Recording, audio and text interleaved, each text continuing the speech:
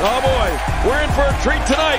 Both of these superstars look geared up and ready to go. We're finally going to see which one of these two is the superior competitor.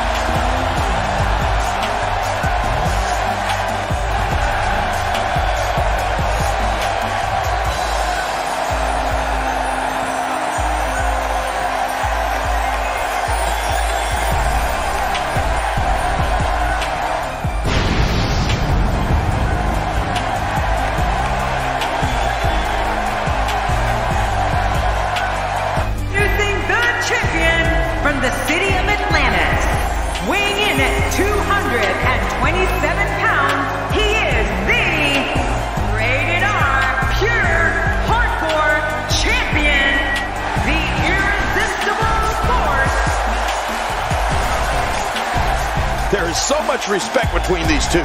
This is going to be one for the record books.